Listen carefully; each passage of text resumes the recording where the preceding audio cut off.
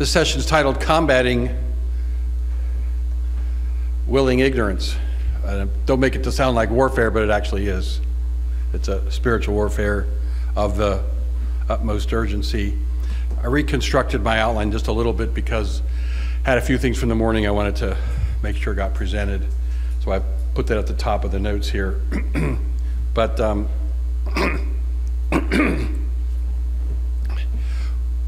pedagogy of contentment, pedagogy just a fancy word for instruction. How do you teach your children to be content? And we began just a little bit of that discussion for the break, but grumbling and discontent are the primary weapons Satan has. Every one of our lives. Doesn't matter whether you're a little tiny kid or a 90 year old man, the battleground of discontent is where Satan has his entry point. Simply put, it runs like this Things should not be like this. This is just not right. We've got to fix this. And if you're not going to fix it, I'm going to fix it. so it just, whenever Satan can push those buttons in our life so that we have this clashing of one person's view of what ought to be versus another person's view, usually there's authority involved because the one who's struggling with discontent, at least in the context of my presentation, they are under authority and they're unhappy with the nature of that authority. So it's a huge battle. And I just want to start with in case you hoped that you could have the perfect home. And failure. God the Father Himself had the most perfect children and environment for His children when He created Adam and Eve. No one will ever match that in any way, shape, or form in the physical world. And Satan succeeded in casting doubt on God's good intentions and raising suspicions of God's order and instigating self action for Adam and Eve to basically save their life. if you remember the call to a discipleship that Jesus gave, if anyone would be my disciple, he must take up his cross daily. Excuse me, he must deny himself and take up his cross daily and follow me. And it's a simple structure deny yourself, and discontent and grumbling comes out of the frustration of being denied.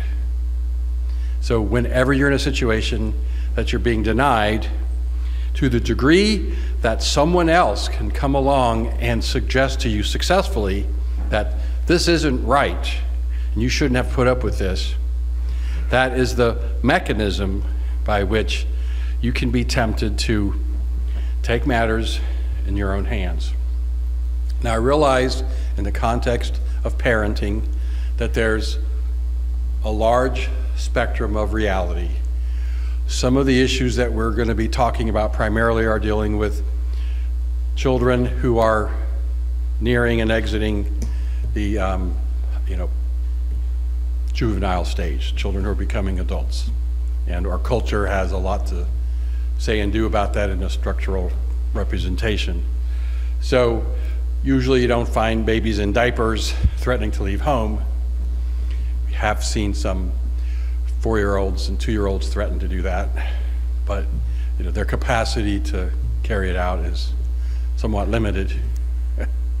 and I've seen some humorous little anecdotes of being allowed to do to do that safely for for a few minutes. But the problem is grumbling and discontent. It, something's uncomfortable. Now, if, we, if we're just going to take it on its face, it's so important for us, as, especially as dads, it's so important for us to have an understanding that it's God's intention that things are difficult. Hardship is an intentional part of God's school plan.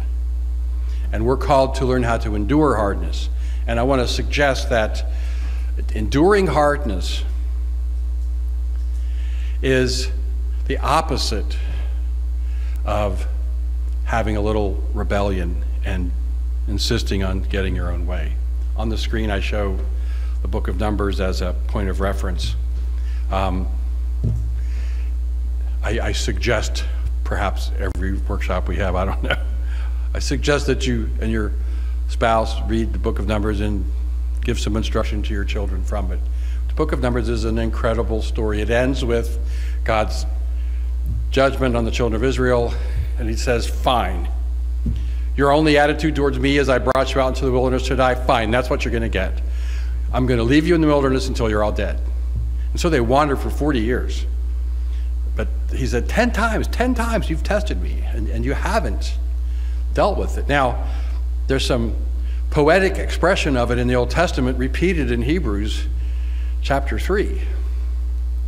But it's incredibly important that we understand that when we're dealing with the issue of grumbling and discontent, you have to recognize that Satan's only successful in that on one condition that God's personal sovereign presence is omitted and ignored or diminished.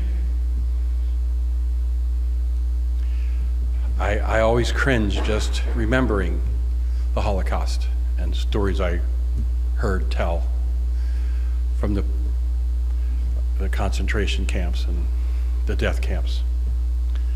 Most atrocious thing you could bring to bear on your imagination. that kind of circumstance led to the phrase repeatedly. A lot of unbelief occurred in light of that. And the little refrain that was used how can there be a loving God that would permit this to happen? And that little phrase is the tripstone for discontent. Whatever circumstance we're in, we see that it's negative, uncomfortable, how about adding unjust, hostile? And we get in these particular kinds of circumstances, and on their very face, we know they're unjust. We know they're unrighteous. And the screaming cry that Satan presses through this spirit of grumbling and discontent is this ought not to be, this, this shouldn't be. And, and if there's any God that would require me to go through this, he's no God at all. He's not a, how can he be a loving God? And so it's, still, it's so, but if you pay attention, it hugely depends on the human perspective. My view of what's right and wrong. Now, if you just did a little bit of theological study, Romans 8, 2 Corinthians 4, if you just understood a little bit of what the scripture says, the scripture says that the present sufferings are not worthy to be compared to the glory that shall be revealed, children of God. Now, that's an absolute stark statement that cannot ever be refuted. So, a game that we have to play, maybe I shouldn't call it a game, an exercise of faith that we should play is fine, take the most horrific thing that you can see and imagine on the earth and put it in there and say, this horrible, horrible thing of suffering is not worthy to be compared to the glory. Every one of us have the capacity to recognize a deal. I love the parable that Jesus taught about the kingdom of God, and he says it's like a guy who's stumbling along through some field, and he trips and he discovers this hidden treasure. He goes, Wow! So he covers the treasure back up, and goes off. And what does he do? He sells everything he has go buy that field. Because he's going to buy the field for what? The value of the field. And he's going to get what? The field and the value of the field, plus that hidden treasure that nobody saw. And the paradigm of spiritual reality is simply this to the degree I see the treasure, to that degree I will sacrifice temporal pleasure, temporal opportunity. But I'm, I'm capable of doing that. Now, I don't know if you are aware of this, but statistically, it's said that men have the greatest difficulty of measuring things in a far out distance. And when you're raising kids, I mean, the next moment of surging pleasure is the whole entire reality of the universe for the male perspective. And how many of these daredevil males you say, wow, you're such a daredevil? No, you're just so stupid. You imagine that you're invincible, and you think of the ultimate reality of all of life being wrapped up and caught up in some daredevil exploit. And you can't see what my dad used to say can't see past the nose on your face. That's really short sighted. I've got a pretty short nose. so it's imperative, first of all, we, that we as parents, we as men, that we understand what the goal line is. And, you know, i have been a pastor 40 years, and I'm, I'm going to tell you the truth. How many times have I sat down in a counseling session and had somebody in an emotionally difficult circumstance simply say to me, I've had it. There's no way that God would ever expect somebody to go through this. Okay, there's nothing else that I can say. They've reduced God to the smallness of their imagination, and that God is powerless, and there's nothing to tell them to hope in. And so they have every right under heaven to seize the day, to seize the power. Because so I had one man, one young man, I can't believe what went on in that discussion. He finally concluded to me, and he was, um, I mean, he's built his life on it. He's still, he's still there in terms of the fruit of his life. said, Well, I've discovered that God's not able to take care of my situation. I have to take care of it myself. End of Theology 101, okay? you've got to a God, got that small. You don't have a choice. So, how do you teach a child to be content? And I, you know, the, the short answer is it's certainly not by capitulating to every minute they cry, to pacifying what their concern or interest is in their demand. It's just not going to hard. Excuse me, it's just not going to happen. So you have to ask some questions. What does godliness with contentment look like? Now, if, it, if I'm going to suggest to you, you perhaps ought to look at the scripture to get some illustrations, because there are some powerful, wonderful scriptural illustrations. I have, I, I love the story of David, I mean, of Joseph in Genesis. I think it's like Genesis 37 to 40 something. And I just recently read it again and I just took some basic notes, but what an incredible account. How do you have a young 17 year old get so vilely mistreated by his family? And in the very process, 13 year process, in the very process of enduring that incredible mistreatment, he never lost his point of focus. I mean, scripture doesn't elaborate the how and the why of it, but when he was a youth and he had these dreams, there was some kind of intuitive knowledge that God is, and he's going to trust God. God does good things, and I guess you could say from the dreams, he realized God has a wonderful plan for my life. I'm going to trust him with it. And the, as he gets sold into slavery and he opens up at Potiphar's house, or whatever. That wasn't Potiphar. Potiphar was the priest. Anyway, the guy's house where he was a slave. It simply says the Lord was with him. Now, brothers and sisters, the Lord's not with us um, just accidentally or incidentally or, you know, hit and miss here and there. The Lord's with us when we call on Him and, and we make Him a part of our life. But God was with him, and he sized up the situation. And being a slave to Joseph was all about doing his utmost for God's highest. It was all about him and God. And so he's going to trust him and make the most. God was with him. And when God's with you, you prosper. Now, I don't think you've ever had a session with your child. Maybe you have, but I doubt that many of us have a session with our child that says, you know, I want you to understand if God ever puts you in a situation where you're a slave, be the best slave you can ever be. Serve God in that slavery. I mean, especially in our culture, slavery is the most horrible thing, and don't you ever think or imagine or make one kind comment about it, because it's just a huge, huge, huge evil. But spiritual reality is if we have a God, we have an alternative mechanism, an alternative outlook to, to grow in and to go in. And so, godliness with contentment looks like Joseph.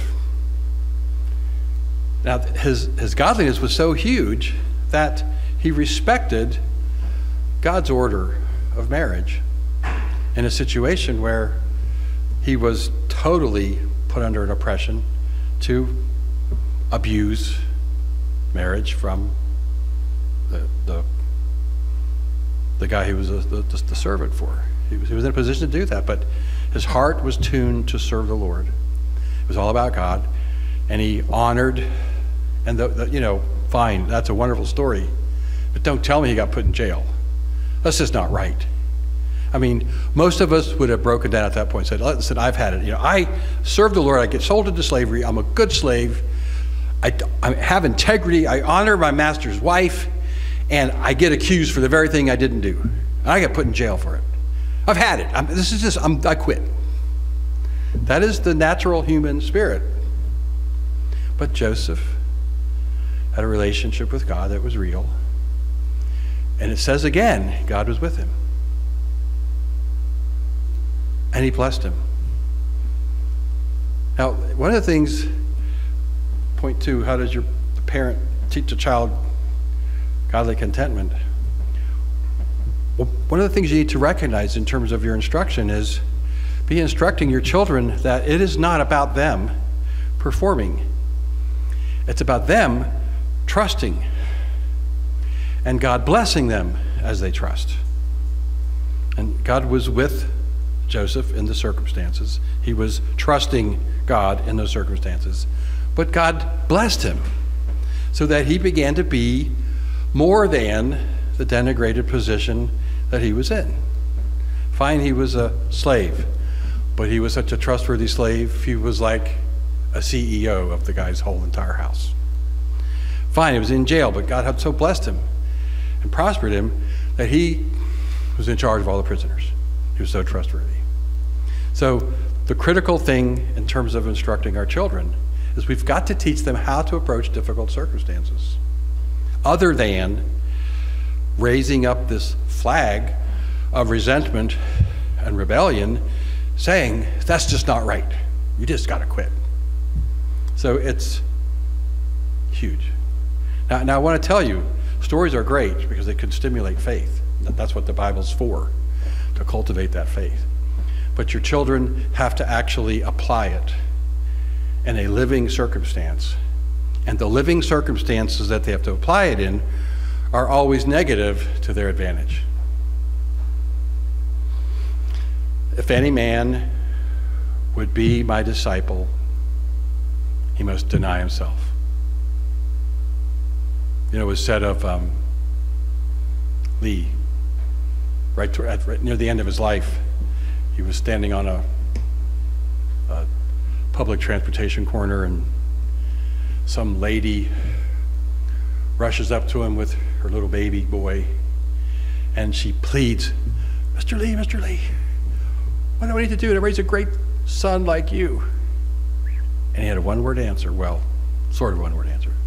He said, teach him to deny himself. Teach him to deny himself. Now, what happens when somebody denies themselves? At the point of conflict, you remove a piece of wood. And you know what Proverbs said about fire. If you remove the wood, the fire goes out. So the deliberate, intentional self denial removes that demonic occasion by which something can be done to defend yourself. Now, you're men, and I'm happy to hear any criticism or complaint you want to bring up in the course of this discussion. But um, we really have to believe this, and we really have to live by it. And, and we have to live by it live, because it's a live circumstance in our home that erupts, that requires a discipline training. Now, if you, as a parent, are never denying yourself, and if all your child is ever seeing is the manipulative power play of you getting your way and the manner in which you do it, you're making it very difficult for your child because you're not giving them the mentoring example of what it looks like to deny yourself. so when you look at Satan's little trick, how does he cultivate cultivate discontent and rebellion? We're, we're done. All Satan does is shine the light on our fault and on our failure and on the loss because of our fault and the loss because of our failure. And so we, but, but, but what that does, he, he just reduces our lives to this temporal action and reaction. And I mean, I remember this was before I was saved. I was studying child psychology, wanting to be a psychologist or a psychiatrist. and in the child psychology class, I'm just listening to this wisdom of the 60s that basically said kids are, kids are messed up and it's the parents' fault. I mean, every problem a kid has is a root blame back to the parent for what they failed to do or how they did it. And by the end of the class, I'm like, I don't think I'm going to have any kids. I don't want to ruin anybody's life. of course, I get saved and get married, and the Lord brings children along. And I remember as we're expecting our first child, I've got to go through that mental process of how am I going to avoid ruining my children's lives? Because everything I'm going to do is be, going to be flawed. And the only out against that kind of attack is simple. We have a sovereign God, and He has our back. He has our best interest at heart. And even though He deliberately allows difficulty and hardship and circumstance to come our way, He allows it to teach us to trust Him. Like I said earlier, we have the sentence of death in ourselves. So we might learn not to trust in ourselves, but God who raises the dead. It's a, it's a transfer process. And if you're raising children who are confident at their skills and their abilities, confident at the good context they have, the good jobs they land, they're headed for, for disaster because they're self focused, self confident, and they don't actually need God. What children have to deal with and understand is God is going to give me difficulty and hardship. I'm going to lose what I thought I wanted. So I'm going to be treated unfairly and not justly. And I've got to respond to that in faith. That's the question of the hour. That's the battle of the hour. Am I going to trust God at the place? And when you look at the mechanism that Satan uses, with Adam and Eve, it was very simple.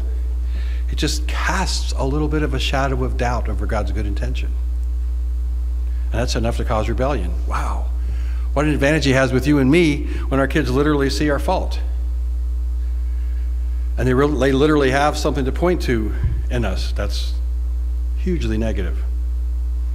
I, I, I tried to learn as a dad, okay, let me be at least a good example of one thing how to apologize. because the fact that I'm going to be wrong isn't, uh, it's grand, it's a given. I'm going to be wrong. But may I have the maturity, the humility to deal with my fault first, and you know how it goes. Take the log out of your own eye before you take the speck out of somebody else's. Deal with yourself first, because that may be the example that your child needs. They may not learn it for a long time, but it's an example, it's a learning process. So, recognize. I mean, think of the Second Corinthians verse. I quoted Romans 8 earlier. Second Corinthians verse says, For our light affliction is but for a moment. yeah, right. Tell me that. Yeah. you name your most horrible affliction. And I mean, I've had, I've literally had people just stare me down and said, I'm sorry, this is not light and it's lasting a very long time. You know, and it's like they, they say it with such vehemence, like, and you can't say otherwise. How about let's turn the tables, okay? So, how about right now, during this really long time, you just have the most wonderful, happy, pleasure filled life, no problems, and it's just, and then you're going to die, and then for eternity, you're going to suffer like this. How you like that one? okay, well, maybe not. So, everything has to be compared to the ultimate picture.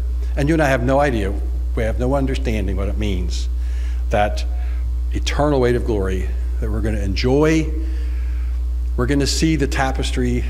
We're, we're going to be so full of praise and worship of God is how did you do that? There was no way on earth I could see any good in that situation.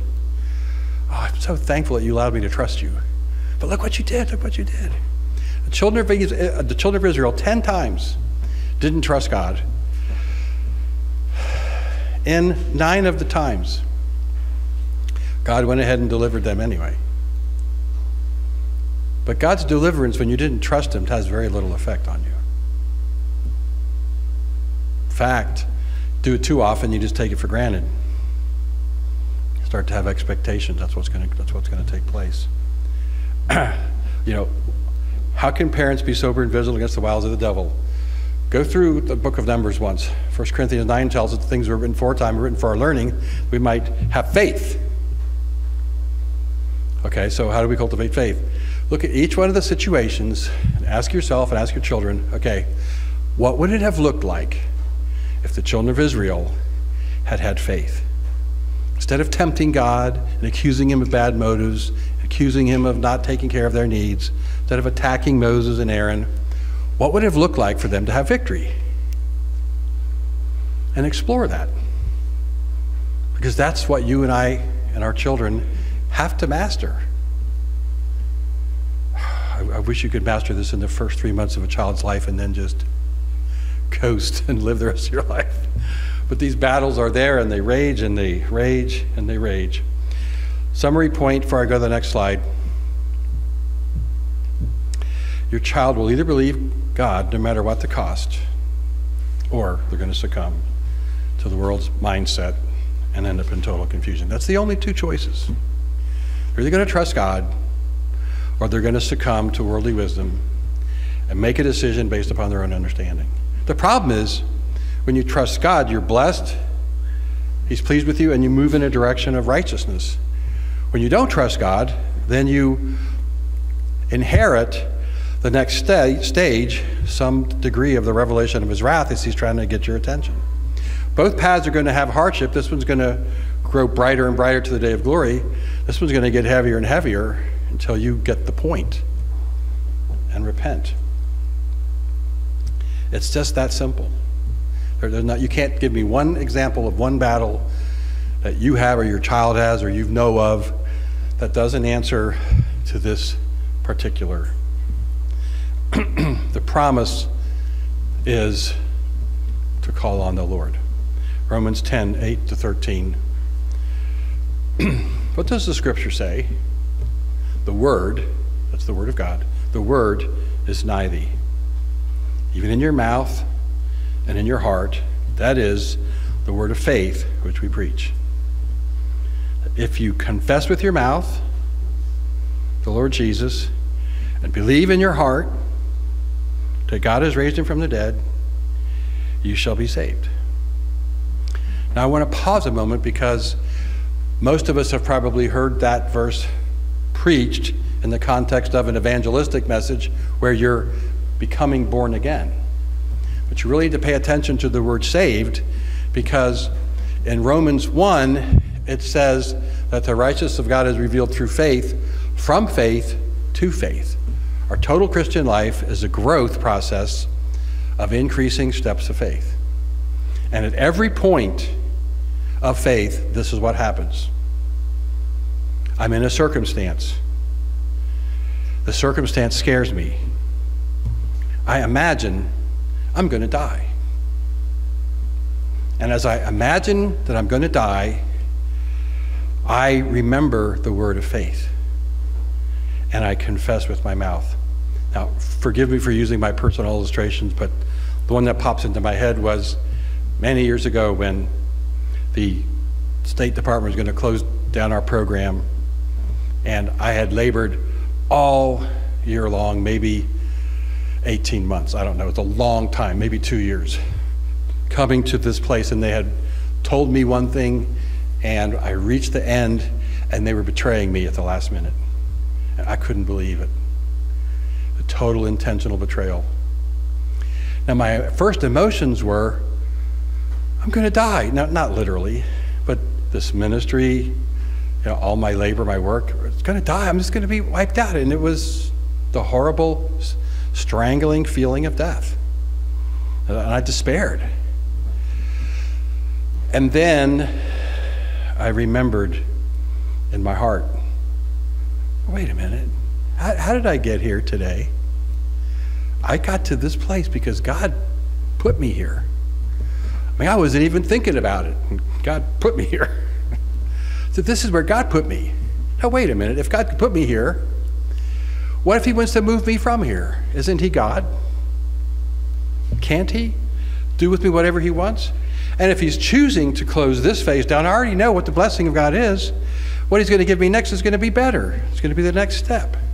So I just remember the simple thing that occurred. I mean, you have to understand, I am terrified to death. The whole, my whole life's work, everything's going down the tubes. And I realized the word of faith.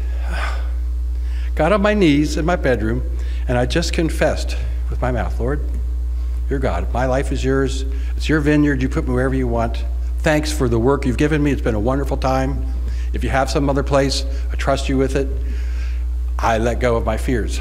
Well, what happened was I got raised from the dead. I mean, my emotions went from this dark, hollow, horrible feeling of death to like, oh, it's almost like, I hope he, I hope he kills me. I want to see what resurrection feels like. I want to know what's going to happen on the other side. I had a meeting that I went to, but I went to it in this confidence of trusting the Lord and goodness, I couldn't believe myself. I was so bold. Was bold as a lion confronting the top officials in the government with kindness, but I wasn't afraid. And consequently, the homeschool regulation as we know it got worked out and wrinkled out by God's mighty right hand. And it's, I was saved. I got saved. And that's the message that our children need to understand. God is deliberately putting his children in circumstances again and again and again and again for one purpose so that they learn to call on him and, and find his salvation in that circumstance. So they can come in that circumstance and they deny themselves. And they say with Esther, the queen, If I die, I die. Blessed be the name of the Lord. That's the heritage of the saints of God. And sometimes we will die. Sometimes our dreams will die, sometimes physically we may die, but that's okay. We embrace it with a expectation. I mean, I think it was Ray Comfort that said this, but apparently he was arrested at one time and threatened with death for crimes of evangelism or whatever he was involved in. And such a spirit of joy came over him, and he taunted his captors. He said, You know what? Go ahead and kill me. Because I have so much material that's written out there. And when you kill me, my material is going to explode a message that's going to change the face of the earth. So you're only going to hurt yourself. But he was absolutely, positively, joyfully ready to lay down his life. And he scared his tormentors to death. They quickly freed him and let him go. now, that's an interesting singular account. But the point is, when your child needs to have that faith, it doesn't look good for them. And here's the parent problem. Ooh, do I. Whew. We are naturally protective of our children. So much so that unless we have a vision for this understanding, we protect them from the occasions of fear, fear of death. We protect them from those And they don't get to learn in little areas as a child how to trust the Lord. Did you know that the psalmist says in one of the Psalms in the 60s, I forget what it is, 62 or something, that weaning a baby is a lesson of faith? A child learns to quiet themselves in the arms of their mother. That's the life message. That's what parenting, the opportunity of parenting, gives us. So you have this structure. You believe unto righteousness. Now, here's, here's the point. When you believe unto righteousness, it's no longer you defending yourself. God gives you something to do, He gives you action to take. I remember after I prayed that prayer about the legislature, I mean, the, Board of Education, I thought, well, let me, let me call Pastor so and so. He's always been good for advice. And I said, what do you think I should do? And he said, well, you know, can't do much, but hey, you might as well just show up and be there. They can at least look at you and realize you forgot me. so I said, great. So I, so I did, and I went. And I went down and talked to the superintendent and talked to the attorney general and sat in on the meeting. And when the homeschool regulation came up, a miracle happened, an absolute incredible miracle happened. She said, Well, oh, could you excuse me? Paperwork's missing.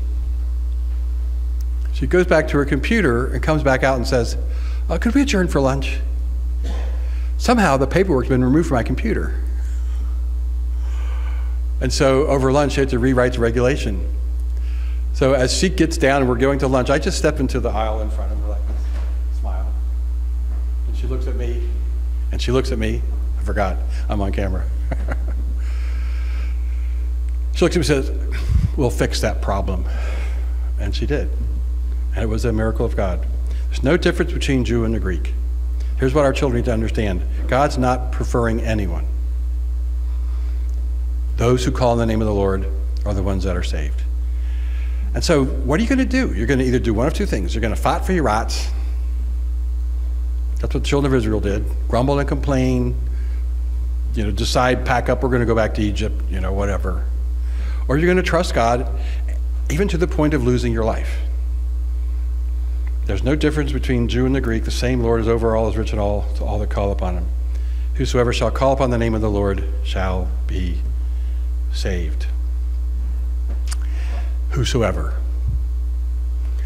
We, we have adversity, we have difficulty, we have and sorrow and loss for one reason to teach us to call on the name of the Lord.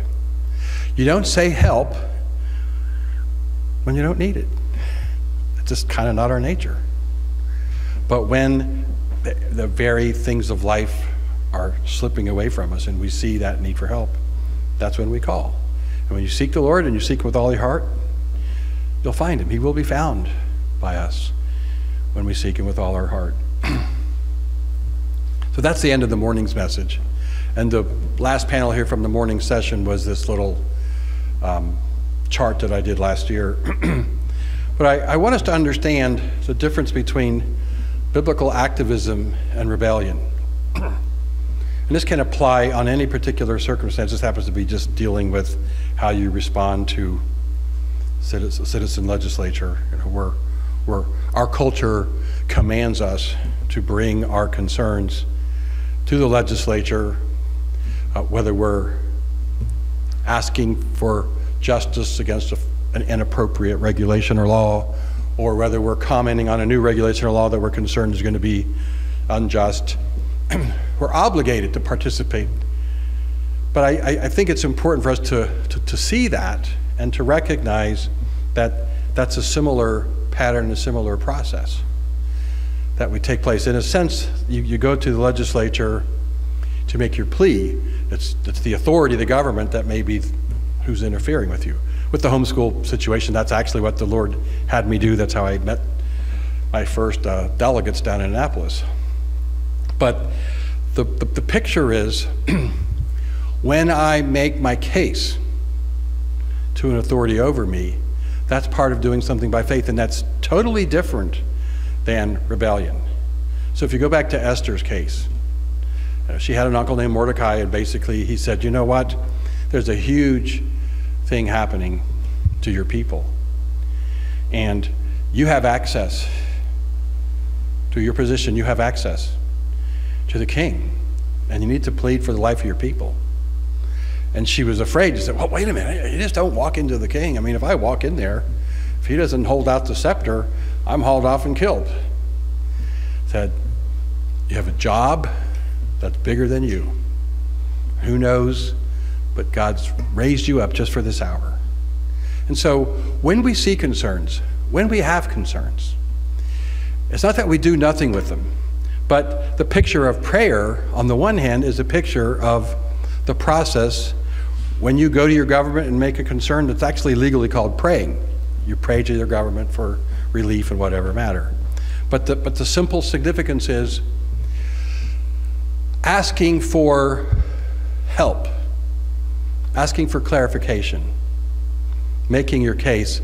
That's a whole lot different than just stark, outright rebellion. When, when, the, when our country was founded, the number of petitions that were submitted to the government redressing our griefs and uh, seeking to get the situations resolved, innumerable. And it was the eventual uh, display of arrogance and action that caused the colonists to recognize, well, under, under heaven we can form a government and declare ourselves to be free. But that wasn't what their plan was, it wasn't what their desire was. Rebellion is simply this rebellion is taking action on the moment because a momentary affliction's bugging you and you don't have the capacity to see beyond, to see the end line, and to understand what's really at stake. But you have the opportunity. I used to coach my children. I said, okay, I'm not stupid. I realize there are times when you are going to be given some kind of a requirement from me and you're going to feel totally hopeless like that's totally in it's killing you you're going to lose your life and i said you have two choices you can use the principle of redress and you can go over my head and you can call on the name of the lord and ask him to help in your situation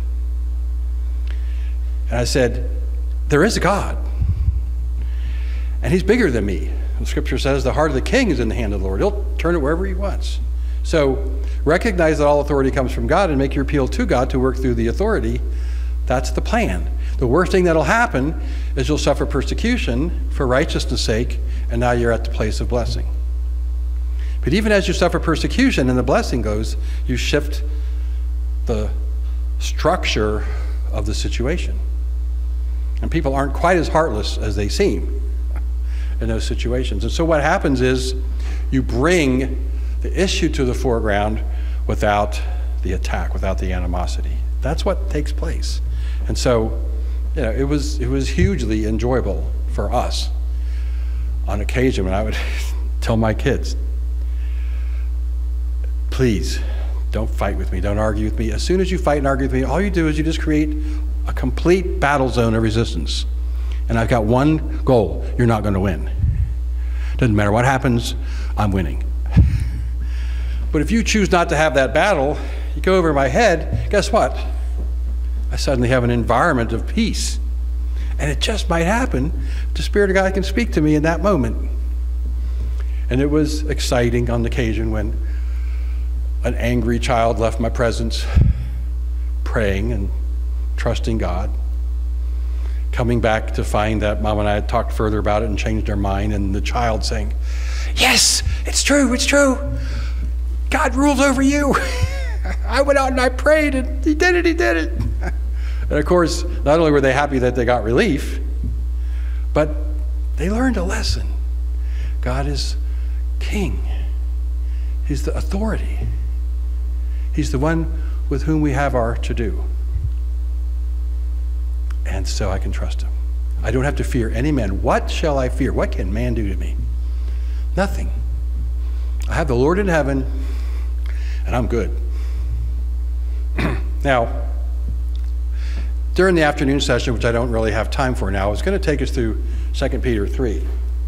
It's a hugely important passage. But Peter is trying to set us up for the understanding that in the last days, we're going to have terrible times because the counterculture, the non Christian culture, is going to be formulated mind, body, and strength in an antagonistic fashion against the Christian faith. the number one thing the world has to deny is they have to deny the creation and they have to deny the flood. They have to deny the creation because the creation authorizes God as the one who is God, he's in charge, he's absolutely sovereign, and it recognizes him as all powerful. He can do anything in the affairs that he wants. But you also have to deny the flood because the flood demonstrates that God will bring judgment on unrighteousness. And the unbelievers, that's what they don't want to hear.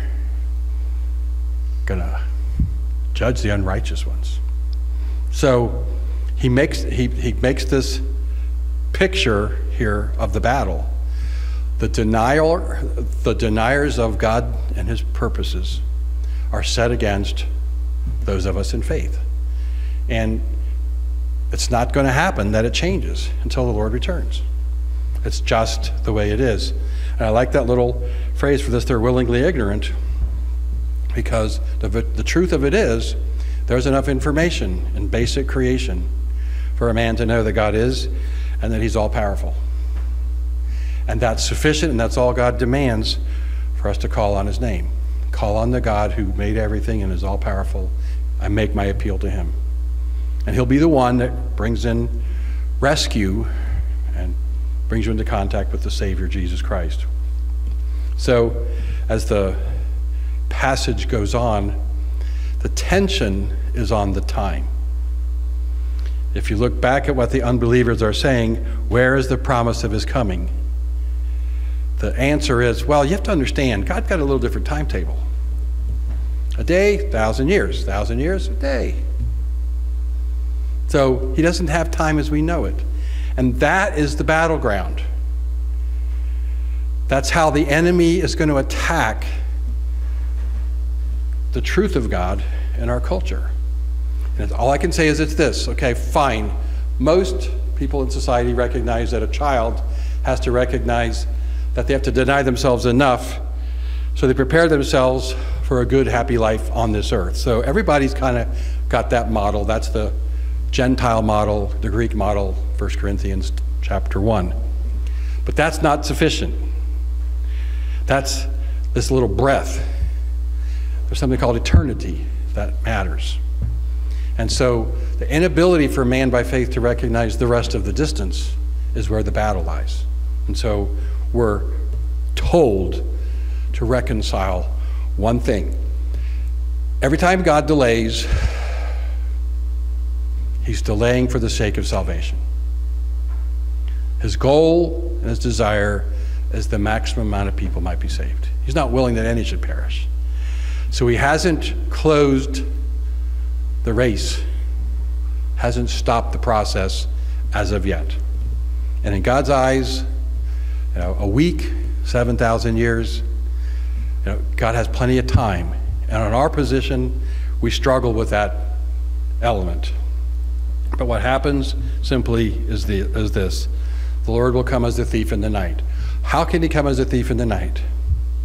Because when you convince yourself that what you can see sufficiently denies this judgment, you never look to the judgment at all. You have no fear of judgment. And so when it comes, it takes you totally by surprise. But for the children, we're not of the night, that we are overtaken as a thief. So the call to us is pretty simple. Seeing all these things shall be dissolved, what manner of persons ought ye to be, and all holy manner of life and godliness.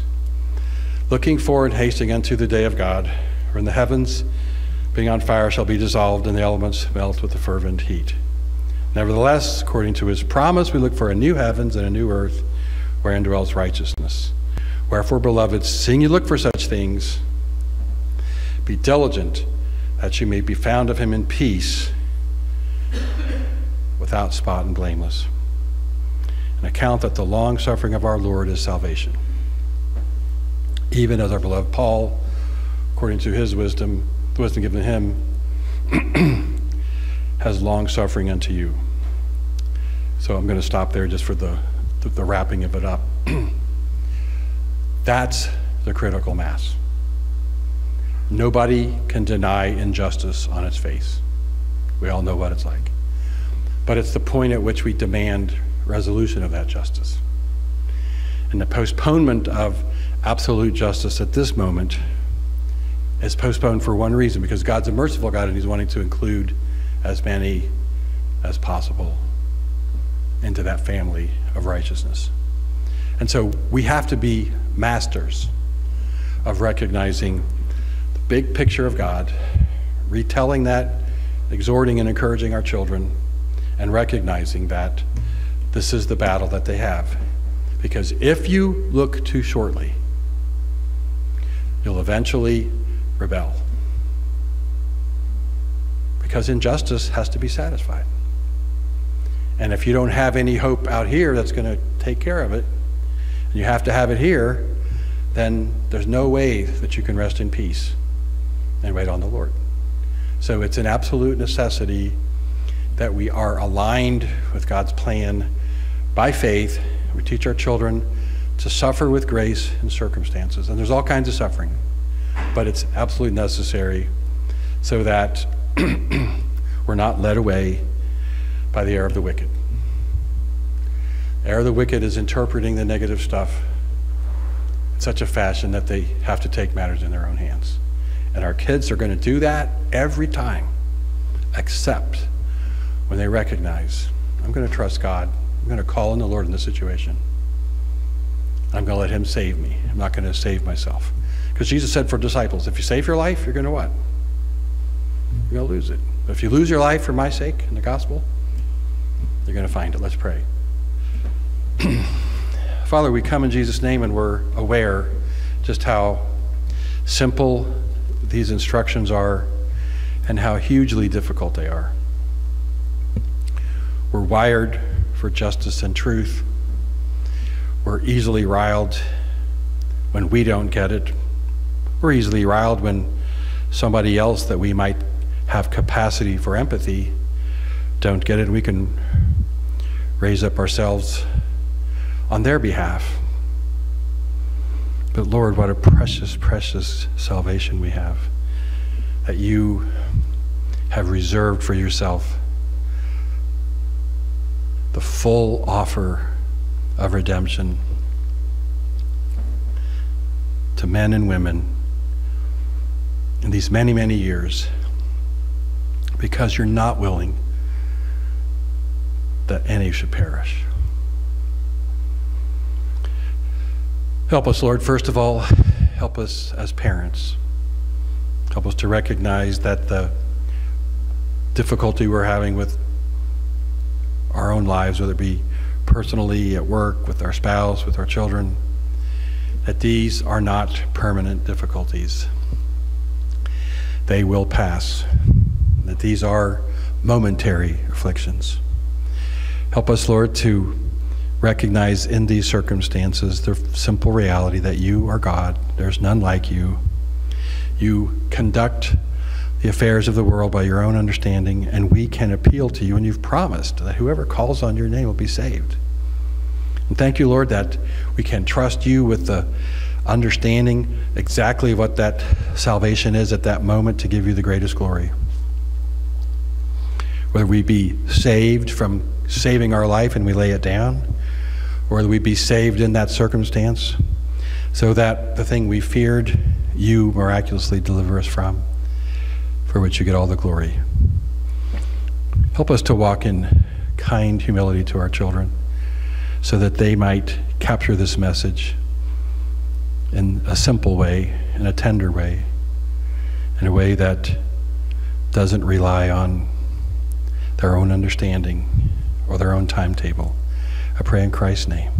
Amen. Thank you. So we can turn off the video and take any practice.